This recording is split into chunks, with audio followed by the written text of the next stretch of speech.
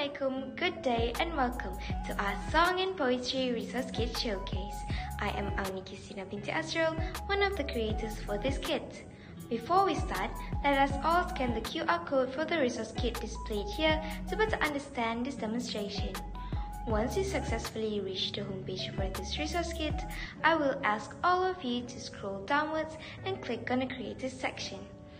These will be the faces and names of the creators that will be joining us in this video. Now, let's click this button to return to the homepage and start with the first section. Thank you, Miss Auni Qistina. To start off, may all of you please click the level 1 button. I will begin with the explanation of the DSKP and our major choice of theme for this kit. So, as we can see, we produce this kit mainly to educate or help children in the level 1 range, aged 7 to 9 years old. This helps teachers educate better as they have aims and goals, which is set to help their students achieve. As for our team today, we will be focusing on songs and poem based activities that can help our students. Thank you, Songtian, for that run through. Now, moving forward, let's click this button here Yes, the one that spells out available to reveal our first collection of resources centering the song Scars to Your Beautiful by Alessia Cara. As we navigate through this section, we can see an embedded picture that leads us to the corresponding music video and a drop down of the song lyrics. I would like to mention that all of our resources are divided into two proficiency levels. Starting with the lower level, we have prepared a worksheet focusing on listening skills and a quiz focusing on both listening and reading skills. To access the materials, users can click on the embedded pictures, make a copy of the worksheet, and quiz template before changing the main focus according to the classroom needs. Moving on, the higher level starts off with a similar but much more advanced materials, a worksheet that focuses on listening and reading skills, and a quiz that focuses on listening, reading, and writing skills. However, there is an added creativity centered activity that focuses on reading, writing, and speaking skills, whereby the students are required to compose a poem based on the given song. This material requires teachers to guide students to successfully achieve the intended purpose. All of the instructions are written in detail here. For your information, all of the resources prepared above are easily adjustable to accommodate the topics and needs of teachers in class. That's all for the first song section. Thank you. Hi, it's me again. So thank you, Auni Qistina, for the splendid and thorough explanation about her song. So now my part which is the song The Climb by Miley Cyrus. So let's get started. So we here are focusing on two skills which are listening and reading skills consisting of two proficiency level which are low proficiency level and also high proficiency proficiency level. So let's start with the first activity in the low proficiency level which is Gartic phone. So how to play this game? Okay, you must be questioning about it. So we have two instructions here. So the first, the instruction number one is student will listen to the song and jot down a few words from the from the lyrics that they like. For an example, let's say that the students have chosen climb, mountain, and also look. Okay, now let's move on to the second instruction over here, which is each student will draw the word they choose and guess it in Gartic phone. Meaning here that the process is actually student number one will pick a word from the song let's say that uh, the climb. So the student so they will draw the climb let's say they will draw a mountain and the second uh, student will actually have to guess the drawing that they have been chosen by first student. So let's take a look at the example of the gameplay here. Let's move on on to the second activities and the third activities in the part of the high proficiency level. So the first activity that we have over here is actually at Puzzle It.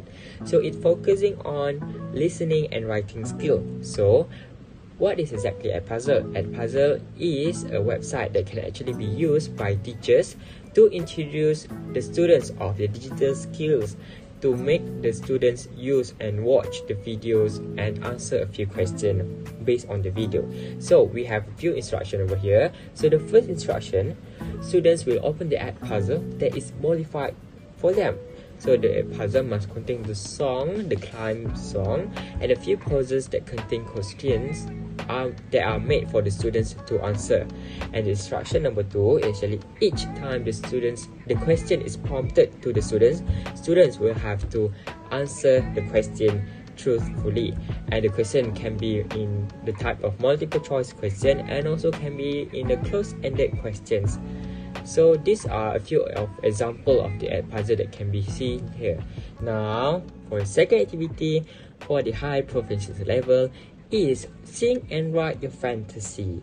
So we have two instruction over here. So the first instruction is student will sing along to a song and understand the lyrics. So in this context, the, the song that we have chosen is this The Climb by Miley Cyrus.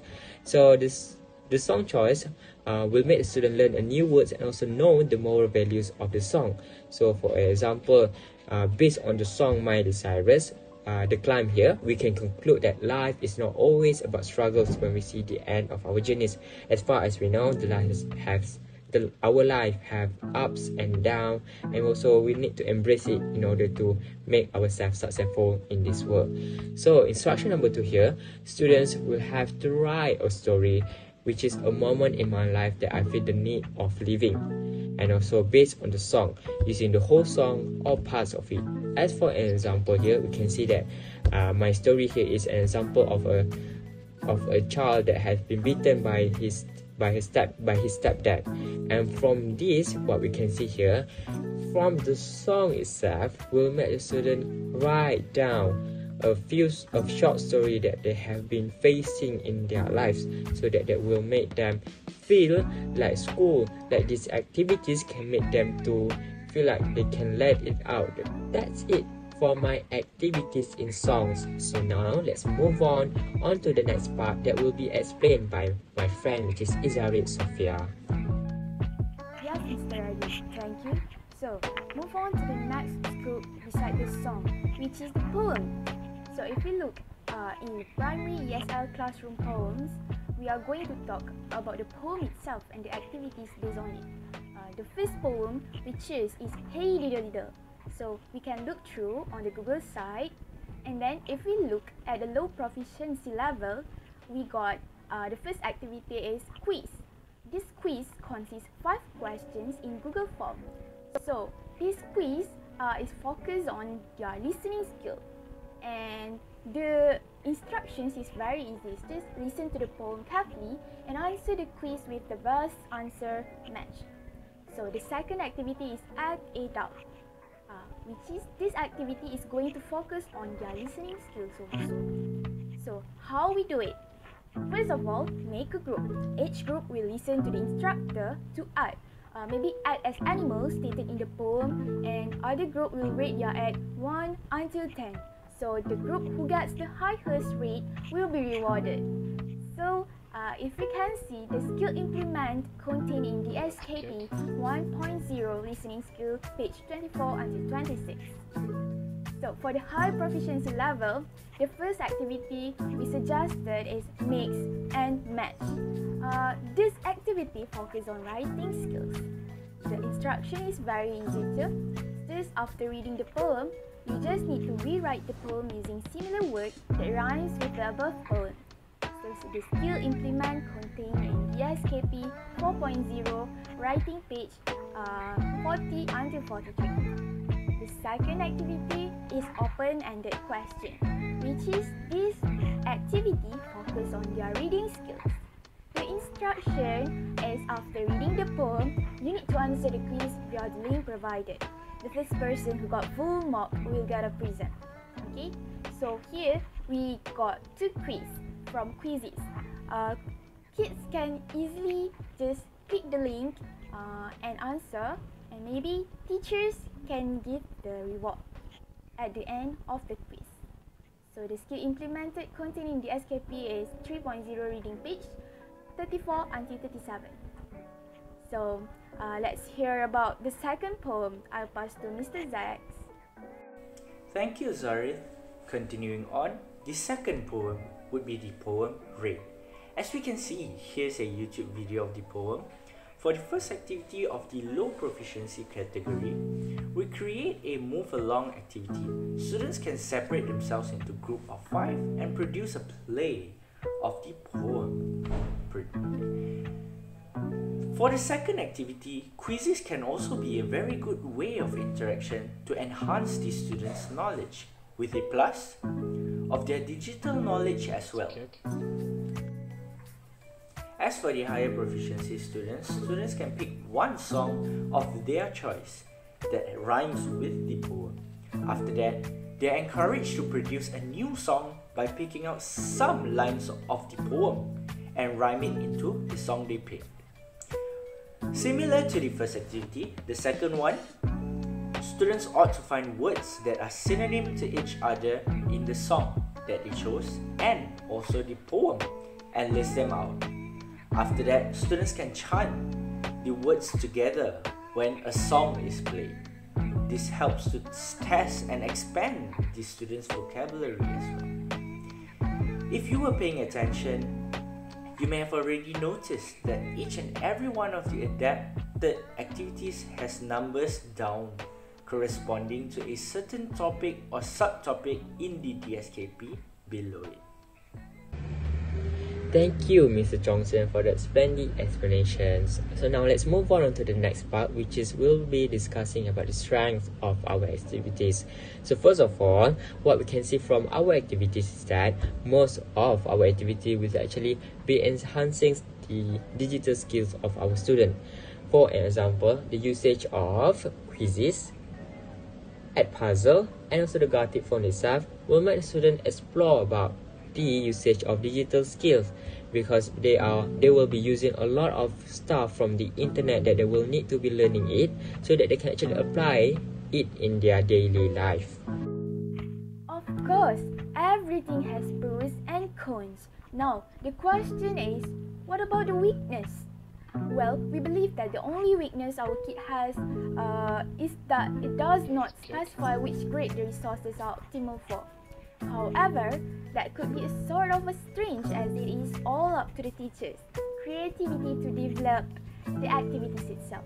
Then again, what we believe is the strength and weakness of a certain thing may not be the same as what you think it is, so it is all up for interpretation.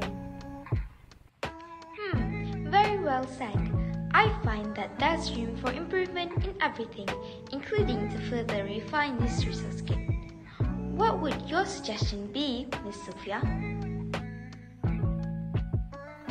So, I strongly believe that building excitement for content and lesson plans is not a bad idea. This one works well no matter the grade level of either elementary school, middle school, or high school. Start lessons by previewing particularly exciting parts hooking student interest from the get-go. As the students settle, go through an agenda of the day's highlight for the whole class.